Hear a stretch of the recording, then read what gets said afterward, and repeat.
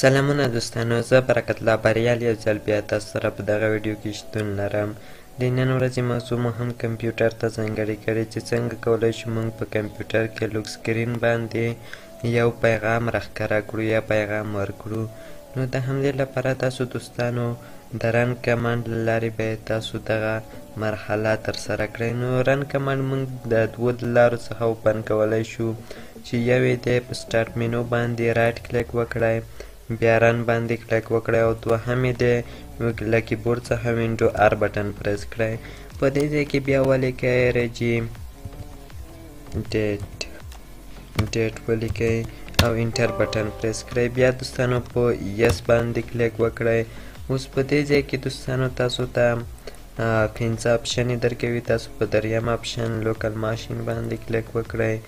بیا په سافټویر باندې کلیک وکړئ په سافټویر کې بیا میکروسافټ باندې کلیک وکړئ میکروسافټ کې بیا تاسو راشئ دوستانو له کیبورډ څخه ډبلیو پریس کړئ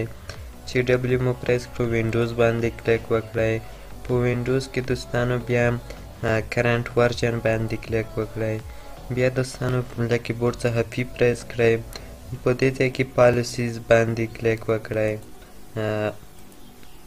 اوس دې ځای کې سیستم انتخاب کړئ نو دوستانو زمونږ کار چې دی له دې دوو اپشنو سره د لومړی رزم دی باندې یا ډبل کلیک وکړی ډبل کلیک سره هم اوپن کیږي یا رایټ کلیک وکړی او موډیفای باندې کلیک وکړی نو اوس رزم زه د غواړم دغه کې یو پیغام ورکړم لکه مثلا سلام او په دې کې همدا لیکم دوهم یو کې لیکم